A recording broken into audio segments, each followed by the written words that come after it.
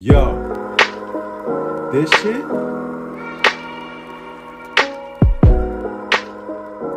This shit is nuts.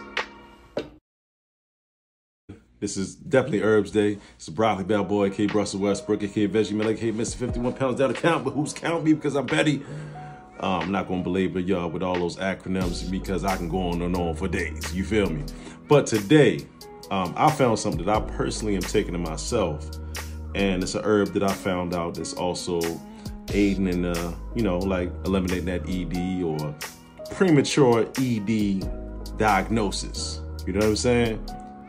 A lot of y'all ain't got ED. You just out here ain't performing when you got the time to do it, or when it's, you know, when it's presented to you, and then you run into that shit. You know what I'm saying? Or maybe you need to change up your diet. Like I always say, the best thing you need to do is change up your diet because that shit should work naturally without any supplements, without any subscriptions from the doctor, all that stuff. You know what I'm saying? You should be able to function for a long time. They try to tell us that you get to like 40 something and your joint ain't working and okay, you got ED.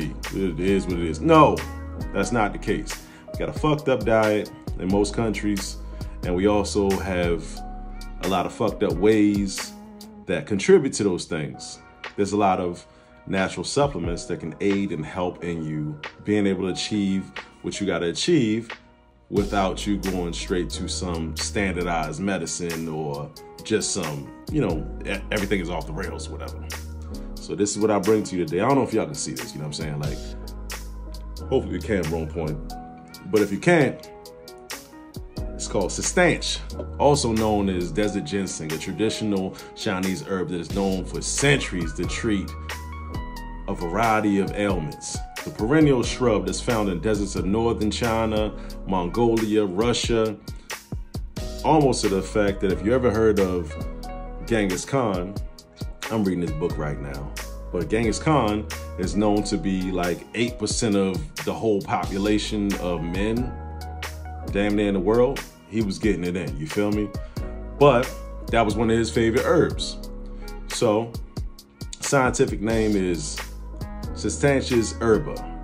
Preliminary research has shown that Cistanche has increased testosterone levels by inducing steroidogenic enzymes in testicles, although the findings come from animal studies, but that's what they do with most of these because they're not standardized. And but it's shown that it has potential benefits to increase sperm count and motility. Motility just means that um, how fast your sperm moves, and you need that, you know. So if you're trying to make a baby and things like that, um, this might be right up your alley. It's also useful, like I said, on this channel, I also talk about a lot of things that have probably three different effects as it relates to if you're thinking about ED. You have ones that increase blood flow. You have ones that make you feel a lot more ready to make that thing happen. But this is one of those ones that does two of those possible things. Well, the last one is the vasodilator, but this one does the vasodilator. This one also makes you feel a lot more calm. A lot of people take this as a nootropic, so ladies, you can also take this as well, so it's not just limited to men. But what I will say that I found me taking this is that I do feel happy. I do feel a general good mood and things like that.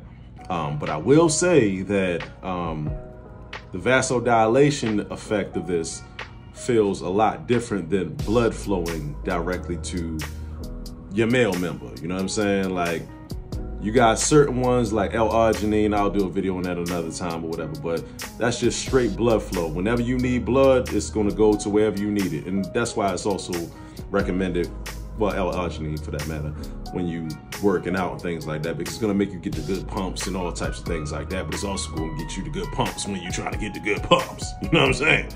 But anyway, um, this one makes the the vessels in your, you know, your male member, I'm gonna keep calling it your male member or whatever, just relax so that blood can just drop in it. So what I will what I will say is this is one of those things that made me feel that, you know, like whenever you need it is there and it's just dropping in. You feel me? So your joint feels heavy. And then when you're doing something, um, I'm telling you, I ain't trying to make no baby right now or whatever, but I got all the, you know what I mean? I got all the DNA ready for that to happen. You know what I'm saying? So this this give you all the DNA you need to uh to populate the earth like your man Genghis Khan. So that's what's going on with this. Even as we talk about testosterone, I'm not a person that's against Western medicine. I just think you use those things in concert. So you can use those things to get measures and markers for the things that you want to take care of yourself. There needs to be some way that you are participating in your own health. Just in the same way you do with food, hopefully y'all doing everything with food like that. That if you know something is off, let that food be that medicine. You know what you need and you should be well versed enough to know what you need to incorporate in your diet to offset those things. But don't get it twisted. When you go to a doctor, you're going to a doctor to get a checkup and figure out what you need to incorporate and what are the numbers. So, as it relates to testosterone, make sure you do that. So, what I will say is just off the break, this whole substantial, I don't call it an experiment or whatever, but this whole thing right now is something that I'm feeling like really confident about. If I just wanted that effect, if I just wanted to have more DNA to give out, I wanted to be ready.